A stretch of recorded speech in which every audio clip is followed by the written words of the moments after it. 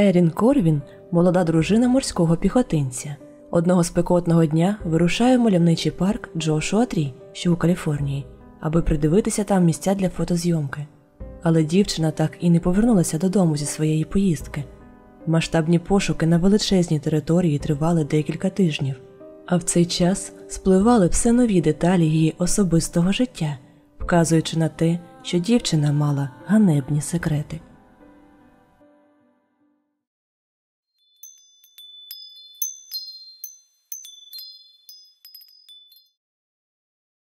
Кажуть, як почнеш день, так його і проведеш. Я думаю, що якісна смачна кава здатна не лише надати бадьорості та гарного настрою зранку, але й продуктивності. Перевірила на собі, бо я ще та кавоманка. Я вже декілька місяців п'ю лише натуральну каву від української компанії 25 Coffee Roasters, яка вразила якістю свого продукту. Кава лише свіжої обсмажки, без ароматизаторів, не тільки смачна, але й корисна. Компанія є тепер постійним спонсором нашого каналу, і це означає, що за промокодом Феміда тепер всі наші глядачі та глядачки завжди мають знижку 20% на весь асортимент ароматної зернової кави. А вибір на сайті просто величезний, більше 40 кавових позицій з різних куточків світу на будь-який смак, і асортимент постійно оновлюється. Полюбляєте полуничку з вершками, цитрусові чи може східні ноти. Я зараз частіше п'ю класичну з горішками.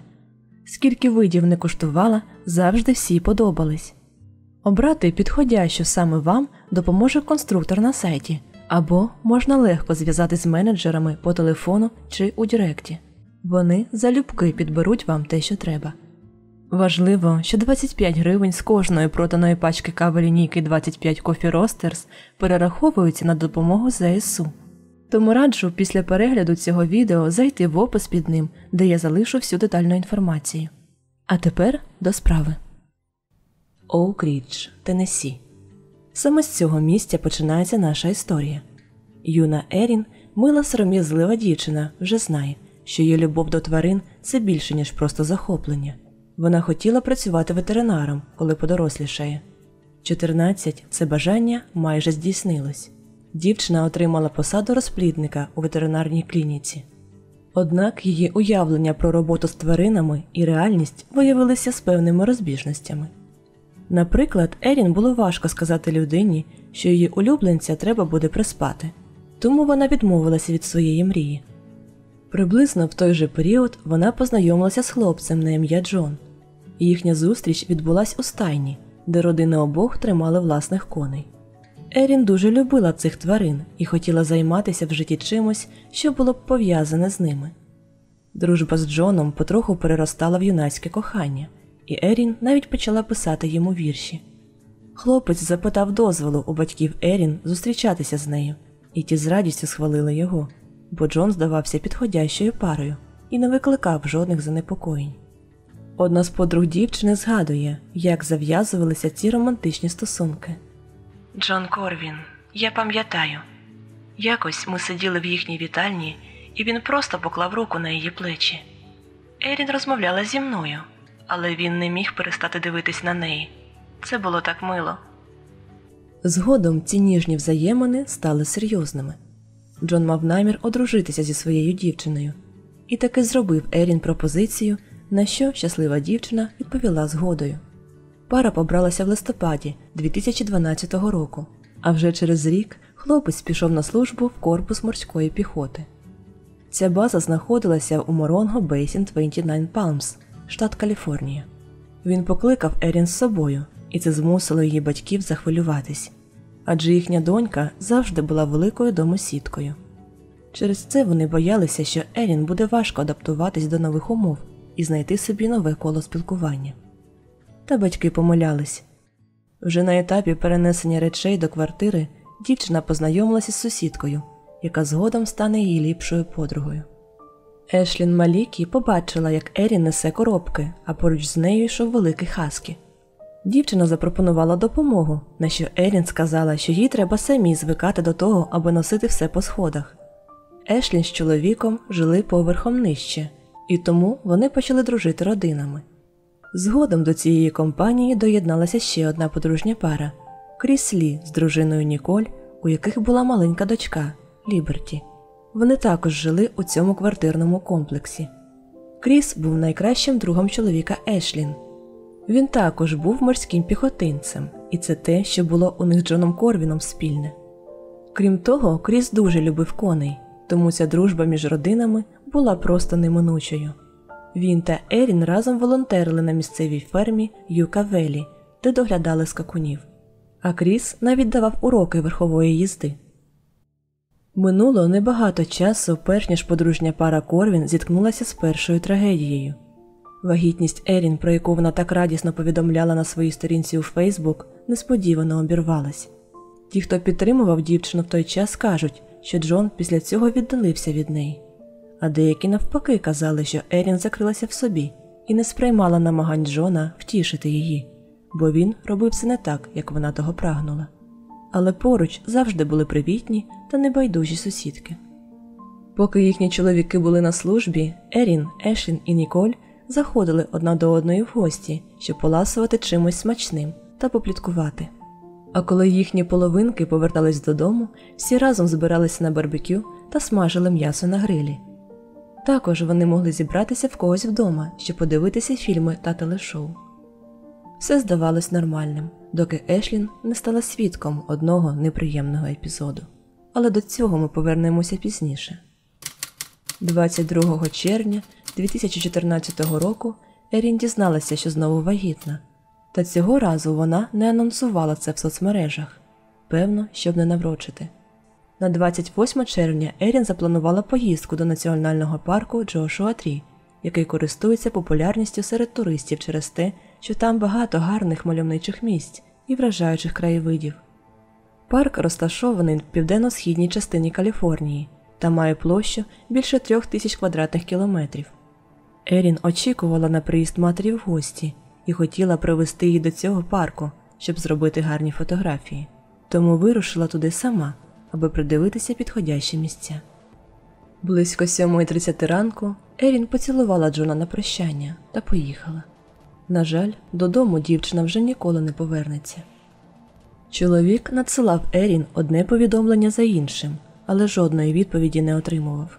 Тоді він спустився до сусідки поверхом нижче та запитав, чи відомо їй щось про його дружину. Але й Ешлін нічого не чула. Та через те, що вона знала секрет подруги, у неї з'явилися певні підозри. Джон чекав до наступного дня, щоб повідомити в поліцію, що його вагітна жінка зникла. І того ж недільного ранку він сповістив те, що на ім'я Лор, що її дочка пропала під час походу в національний парк.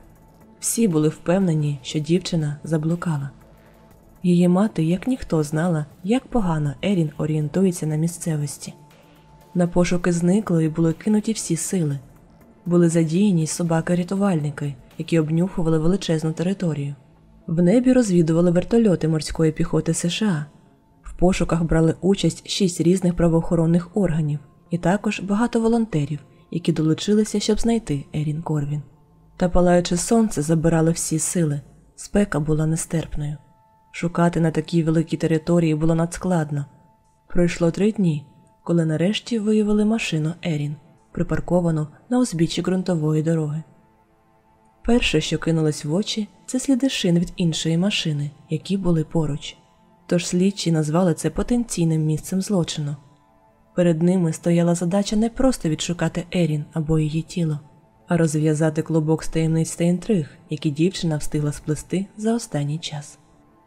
Як це часто буває, коли зникає жінка, то підозра падає на її чоловіка.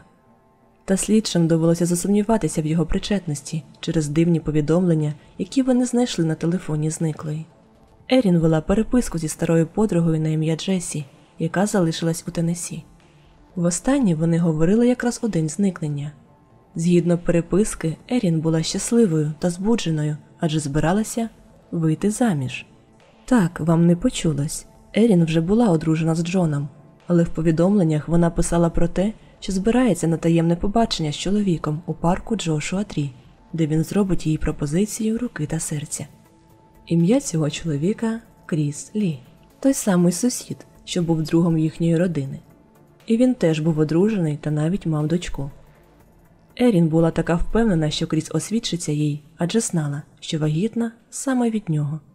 Серйозно, я не знаю, чому він тягне мене в це особливе місце.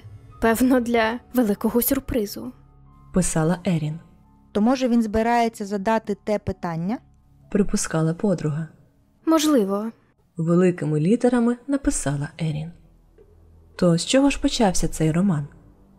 Подружжя Корвін виявилося не готовим до труднощів. Вони почали частіше сваритись через гроші та звинувачували одне одного в надмірних витратах. Був лютий 2014 року. Одного недільного вечора родина Лі приєдналася до Корвінів у їхній квартирі. Тоді було вирішено дивитися ходячих мерців. Але Ерін сказала, що в цьому серіалі занадто багато насильства, і пішла в свою спальню, де Кріс грав у відеоігри. Там Ерін приєдналась до нього. Вони були самі, сиділи поруч на підлозі, граючи в гру. Раптом хтось із них натиснув на паузу. Вони подивилися одне на одного і за секунду вже цілувались. Той поцілунок змінив все. Роман швидко розгорівся. На той момент Крісу було 27, а Ерін молодша на 8 років. Інколи вони не могли стримувати своїх почуттів, і не дивно, що невдовзі їх побачили.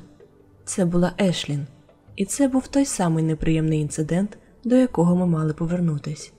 Це сталося в день святого Валентина. Вони були у мене в гостях.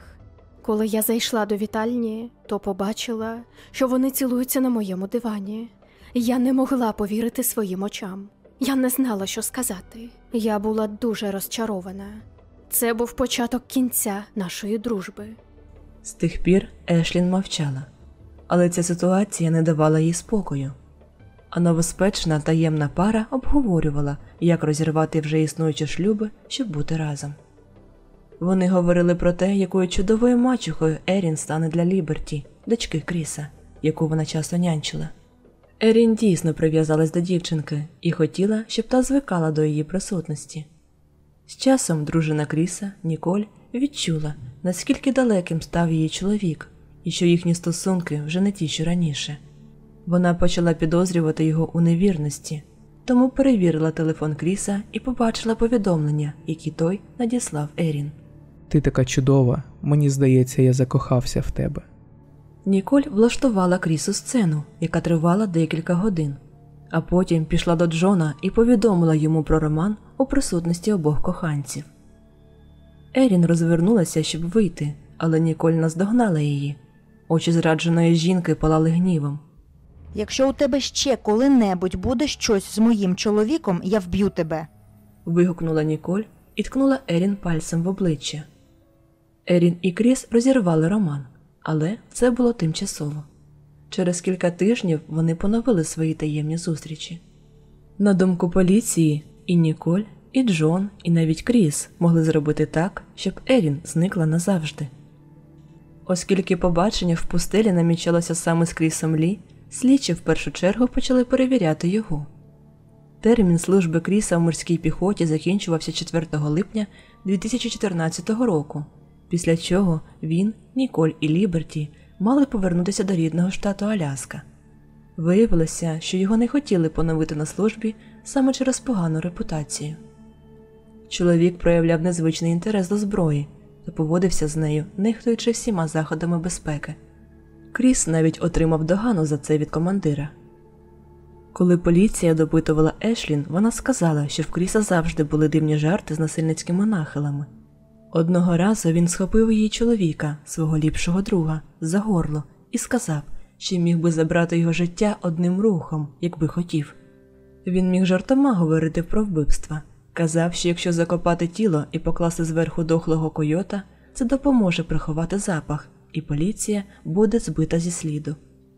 У день, коли Кріс та Ерін мали таємне побачення у парку, кожен набрехав своїй парі щось своє. Ерін сказала Джону, що йде придивитись гарні місця для відвідин з її матір'ю, а Кріс повідомив дружині, що буде там полювати на койотів разом з чоловіком Ешлін. З собою він взяв гвинтівку Вінчестер 22-го калібру. Однак чоловік Ешлін нікуди не їздив з Крісом того дня. Він залишився вдома, оскільки до нього приїхали друзі в гості. Коли слідчі дізналися про це побачення з переписки Ерін, вони обшукали автомобіль Кріса та знайшли там саморобну гароту. Чоловіка привезли на допит. Я думав, що закохався в неї, але це те, що я був змушений вірити. Ми ставали ближче, мали довші розмови, поцілувались декілька разів в неї вдома. Потім моя дружина про це дізналась та розгнівалась. Розповіла Джону про це. Скільки разів ви цілувалися? Рази чотири. Окей, то ви просто цілувалися чотири рази і більше нічого не було? Та ні. Не торкалися, не мацали. Можливо, поводили руками вверх та вниз під час поцілунку, але нічого такого. Під одягом не торкались. Кріс розповів, що їхній роман почався через те, що Джон був поганим чоловіком. Зі слів Ерін, він піднімав на неї руку, хапав за горло, аби перекрити доступ до кисню, та залякував її. Вона боялась за своє життя і бачила порятунок в обіймах сусіда. Але не було жодних підтверджень тому, що Джон дійсно був аб'юзивним в стосунках із дружиною, лише зі слів Кріса Лі. Сам Джон все заперечував. А Кріс стверджував, що взагалі не розмовляв з Ерін після того, як дружина дізналася про їхній роман. Він говорив спокійно, бо не знав, що його коханка встигла написати подрузі про таємне побачення в парку. Але детективу все було відомо, і він вирішив брати бика за роги. Кріс, мені треба знати правду. Я хочу знати, чому ти з нею зустрічався. Нема сенсу мені брехати. Та я не бачив її в суботу, бачив лише її машину. В кімнату для допитів зайшов другий детектив і почав задавати питання про вагітність Ерін. Ти знав, що вона чекала на дитину від тебе? Вона не була вагітною моєю дитиною. Може, ти просто не знав, бо вона всім про це розповідала. Нам відомо, що ти збирався зустрітися з нею в суботу. Ми це точно знаємо. Знаємо, що ти збирався повести її далеко, і це мало бути сюрпризом для неї. Ми все це знаємо, окей? Ми знаємо, що ти зустрівся з нею в суботу вранці, якраз того дня, коли вона зникла. Ми знаємо, що ти останній бачив її живою. Щось сталося між вами. Ми знаємо, що там щось сталося. Ти знаєш те, що там щось сталося. Я хочу вірити, що ти не холоднокровний вбивця, що ти не планував цього. Ти не збирався піти туди, вбити, позбутись її та просто продовжувати жити далі. Хіба так все й було? Ні. Та у поліції був ще один козир. Вони вивчили історію пошуку Кріса в Гуглі та побачили запити на кшталт, як позбутись тіла. Він вивчав інформацію про те, як його розчинити, і що на це піде годин вісім. А також питав Гугла, як працюють крематорії. Та найкраща відповідь в інтернеті була просто з'їсти його. І що головне, детективи вже порівняли шини від джипу Кріса Лі зі слідами, які були залишені біля кинутого автомобіля Ерін, і виявили збіг. Та без тіла не можна було висунути звинувачення в вбивстві. На пошуки дівчини було витрачено багато тижнів. Коли до матері Ерін прийшли дізнатися, до якого стоматолога вони звертались, аби отримати стоматологічні записи, жінка зрозуміла, що вони вже шукають тіло Ерін. Однак не було жодних слідів. Вона й справді неначе розчинилась. Через це на 16 серпня було заплановане припинення пошукової операції. Прорив у пошуках стався, коли ліпший друг Кріса, з яким він буцімто мав їхати на полювання, сказав, що бачив, як в день зникнення Ерін Кріс ставить в багажник резервуар з пропаном. Він здивувався, навіщо Кріс бере це з собою в парк. На що той відповів, що йому цікаво підірвати одну з закинутих шахт. І це стало величезною підказкою для слідчих. Вони були впевнені, що Ерін в одній із них. Але в якій саме? Адже шахт на тій території було безліч. Та й тут їм допоміг друг Кріса. За тиждень до зникнення Ерін він бував з ним на одній з шахт і зробив там фотографії, які показав детективам. Завдяки цим знімкам вони знали, де шукатимуть в першу чергу. О третій ранку рятувальна команда вирушила на завдання. Діяти треба було обережно, щоб, по-перше, не знищити потенційні докази, а по-друге, не потрапити у пастку, адже стан шахти був невідомий. Вони вирушили рано, поки ще сонце не почало припікати. Стан дерев'яних дошок в шахті був поганий, їх підточили терміти, а в деяких частинах вони просто згнили. Тіло Ерін виявили на глибині у 42 метри. Воно було у жахливому стані. Поруч з нею знайшли балон з пропаном, який був частиною невдалої спроби спалити тіло. Два місяці пошуків нарешті закінчились. Родина видихнула, адже для них була кращою гірка правда, ніж життя в постійній тривозі та безнадійних очікуваннях. Про знахідку не сповістили одразу, аби у Кріса не було часу втекти ще далі. Адже на момент виявлення тіла він з родиною вже переїхав на Аляску, в Анкорідж. Там поліція його й заарештувала. Чоловіка повернули до Каліфорнії, де він постав перед судом. Кріс зізнався у вбивстві Ерін Корвін та визнав всі докази, зібрані проти нього. Він розповів, що заманив коханку в пустелю під виглядом сюрпризу, і тому Ерін думала, що він освідчиться їй. Однак Кріс задав їй зовсім інше питання. Ти чіплялась до моєї дочки? Кріс пояснив, що Ерін збиралася стати мачухою для його доньки Ліберті, оскільки думала, що їхні стосунки дуже серйозні і вони створять власну родину. Одного разу ввечері, після того, як його дружина купала Ліберті, вона виявила, що в тої поміж ніг шкіра почервоніла та має подразнення. Дружина звинуватила Ерін у тому, що вона якимось чином спричинила підозрілий висип. Кріс почав думати, що Ерін занадто прив'язалася до його дівчинки. За його словами, в ньому щось перемкнулось після цього. Він напряму спитав, чи торкалася Ерін її. І вона сказала: Так, але. І це було останнє, що я чув від неї. Мене охопила несамовита лють. Я мав захистити свою дочку. Саме тоді, за словами Кріса, він втратив контроль, схопив саморобну гароту, накинув її на шию і стискав, доки життя не покинуло Ерін Корвін. На це пішло п'ять хвилин. Потім він поніс її до шахти та кинув головою вниз. Слідом полетів балон з пропаном та смолоскип, який мав спричинити пожежу і знищити сліди злочину. Однак щось пішло не так, і балон не загорівся. Та присяжні не повірили в історію про дочку Кріса. Прокурор теж наполягав на тому, що Кріс все спланував заздалегідь. При ньому в той день, окрім гароти, також була гвинтівка. Він пояснював це тим, що його попросили зі служби, через це хотів вкоротити собі віку. Та прокурори припускали, що ця гвинтівка була запасним варіантом, аби Ерін ніколи не повернулася з тої поїздки. Та підтвердження цьому ніхто, звісно, не надав. Кріса Лі визнали винним у вбивстві першого ступеня за особливих обставин, і на це рішення присяжним знадобилося всього 15 хвилин. Вони вважали, що Кріс вигадав історію з Ліберті, щоб його судили за ненавмисне вбивство, яке передбачає пом'якшене покарання.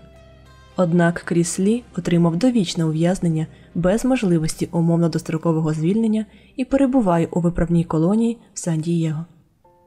Тепер у пустелі, на місці, де Ерін зробила свій останній подих, є меморіал, який розташований біля тієї шахти. Родина залишила на лавці блокнот, де бажаючі відвідувачі можуть написати свої думки та коментарі для сім'ї Ерін. Сама родина згадує лише хороші часи з їхньою улюбленою донькою, замість того, щоб гніватися на Кріса Лі. В одному з інтерв'ю мати Ерін сказала: Я вирішила відмовитися від того, щоб жити в злості. Він вже забрав у мене достатньо. Якщо я носитиму в собі злість та ненависть, він таким чином забере мій розум, мою душу і моє серце. А цього я йому не віддам. Також Лор каже, що навіть уявити важко, що її дочка думала в момент, коли Кріс стискав її шию. Адже вона дійсно була закохана та очікувала пропозиції вийти за нього. Вона думала, що він любить її так само. Ці п'ять нестерпних хвилин. Про що вона тоді думала?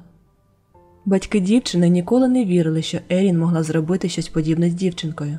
Їх дуже засмутили та обурили такі огидні звинувачення та намагання Кріса залишити брудну пляму на імені їхньої дочки. А як ви вважаєте, яким був справжній мотив вбивці? Можливо, не обійшлося без впливу дружини Кріса. Вона могла шантажувати чоловіка тим, що він ніколи не побачить Ліберті, якщо не позбудеться Ерін Корвін. Чи Кріс сам злякався наслідків свого роману і того, що Ерін носить його дитину? Адже дівчина зникла всього через два тижні після того, як дізналася про вагітність. Можливо, він ніколи не збирався кидати родину заради неї, а сприймав їхні стосунки як тимчасову розвагу. Пишіть свої гіпотези у коментарях.